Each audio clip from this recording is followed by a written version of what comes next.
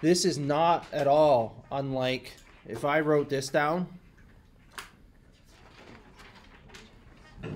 Has, was this explained to you like this yesterday?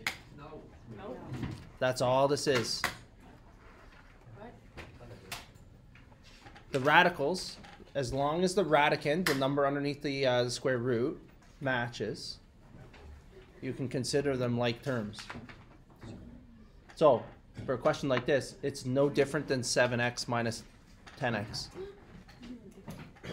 So, 7 root 10 uh, minus, sorry, 7 root 2 minus 10 root 2 will actually just be uh, negative 3 root 2.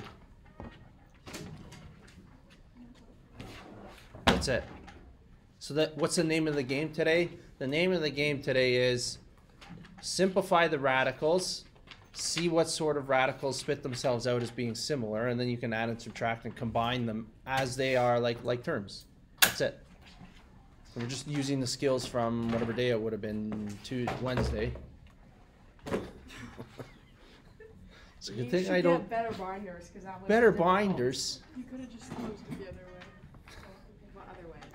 It's a good thing the YouTube channels are not my day job because that was a lot of racket in the background there. So, Maybe you should get like a muffler and like a mic. okay, what about this one? Eight minus five plus twelve. Eight plus twelve is twenty. Take away five should be fifteen root sevens. Yeah.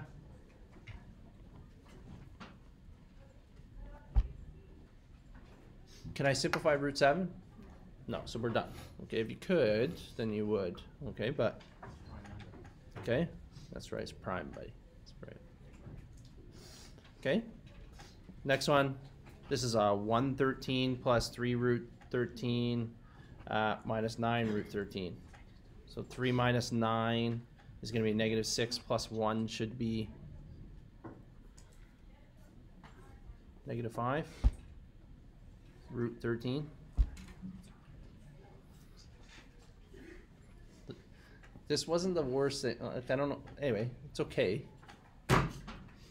If you are stressed, at least we can cut the stress level down. This is actually is not that bad. Okay. It's just your collecting like terms work that you've been doing for two years. It's just got this extra layer on it. Okay. Now, this is maybe where you might start getting a little stressed because they don't match anymore. But we learned skills on Wednesday to make them match. How can I write root 27? Sophie, Three and nine. 3 and 9. Root 3 times root 9. Right? So I can get 2 root, oh, let's not do that. Let's do 2 root 9 times root 3. Okay, root th- 9 times root 3 is the 27 plus 5 root 3. It's is not how you showed us that. It's okay. Listen, it's not the worst. Listen, you're going to encounter all sorts of different teaching methods, right? It's not the worst thing in the world for you to sit there and struggle with an explanation. You're trying to make connections. That's a very good exercise for your brain. Try and make connections with someone else's explanations, different ways of doing it, right? It's good for you. Okay? All right? I think what makes me particularly good at this is because I had all the exact same problems that you have learning this for the first time. I've made all these connections, the same connections you're trying to make. That's I think why I'm relatively good at my job. Give or take a couple points from time to time. So we get two times three times root three. Okay. Two times three is six. Root threes plus 5 root 3's. What's that? 11 root 3's. Yes. All right. Well, the next one. Simplify both radicals. Two roots what?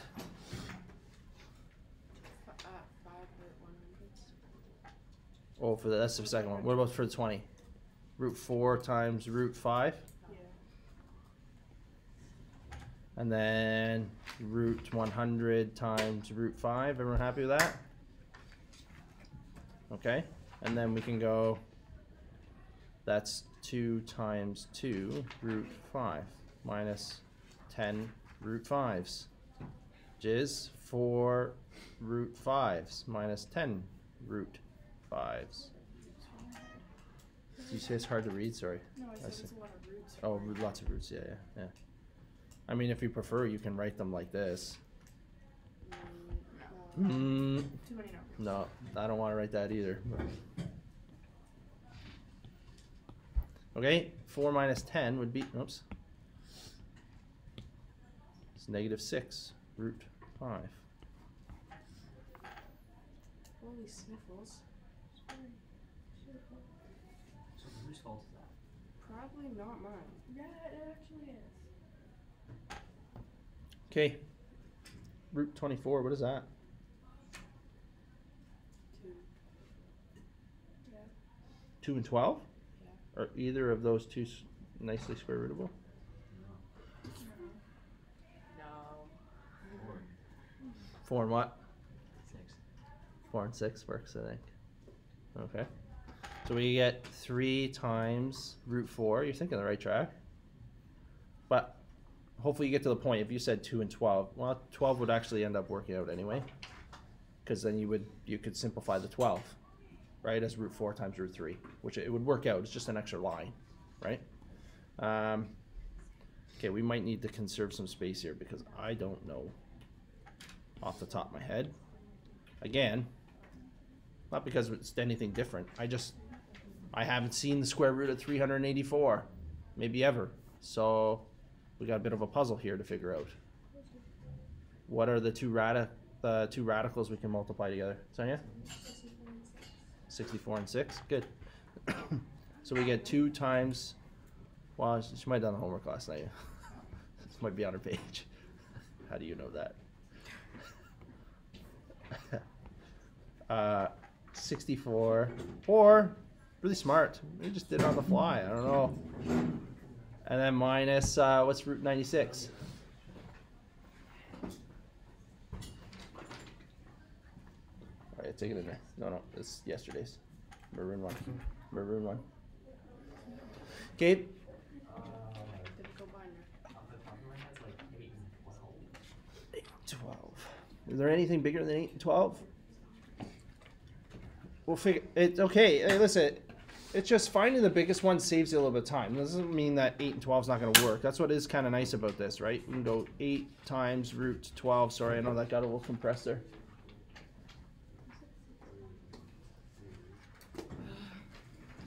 What was the other one rachel? 16 and 6 does that work a bit bigger jacob? 32 and 3. 32 and 3 has to be square rootable. 32 is not nicely square rootable. So that one put you that one would have put you in a jam. Uh, Rachel, what was it? 16 and 6 again? Yeah. So either of those would have worked, right? Times root 6. Okay? And now we can go 3 times 2 times root 6 minus 2 times 8 times root 6. I mean, we should maybe had a clue with the root 6s, but that's okay. Everyone okay with that line? Okay, all I did was square root the nicely square rootable numbers. So we get 6 root 6 minus 16 root 6 minus 4 root 6. That looks like uh, negative 20 plus 6 should be negative 14 root 6s.